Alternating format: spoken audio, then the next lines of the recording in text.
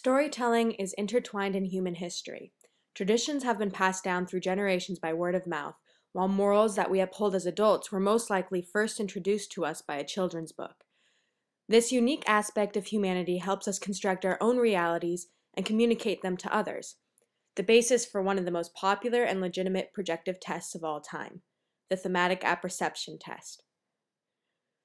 The thematic apperception test, or TAT, was first developed by Henry A. Murray and his co-worker, Christiana D. Morgan, at the Harvard Psychological Clinic. Their inspiration came from an undergraduate student who, during a classroom discussion, talked about her son. He had been re recently sick and was at home looking through magazines. Watching over him, she was surprised to observe that he spent most of the day looking through magazines, making up stories about the pictures he saw.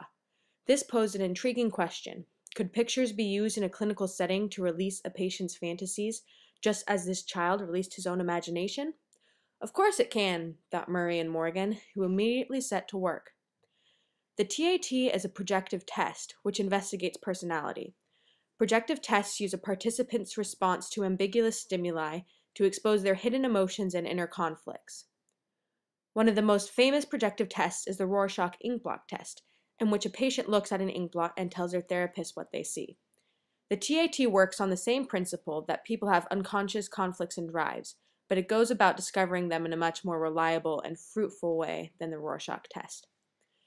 The TAT consists of a series of black and white pictures involving two people that depict an ambiguous situation.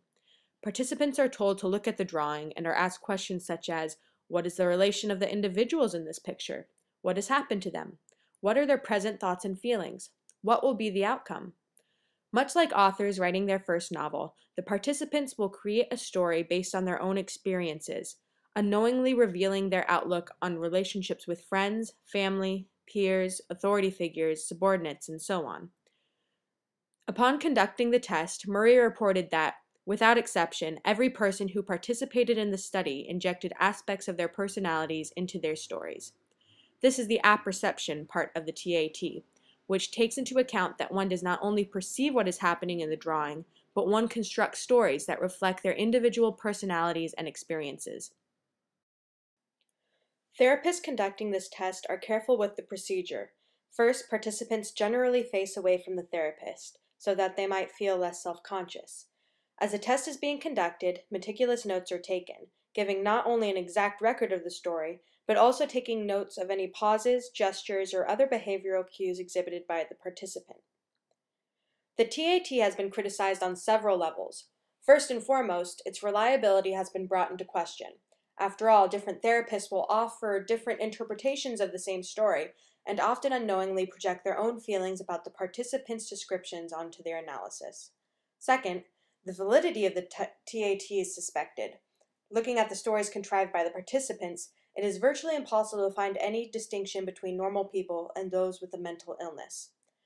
Critics have also found that the TAT is not able to predict a person's actual behavior and has little value in predicting aggressive behavior. In addition, evidence suggests that responses to projective tests, including the TAT, depend more on the mindset of the person going into a session. For example, whether or not someone had a relaxing day leading up to the test will greatly affect the story contrived by the participant.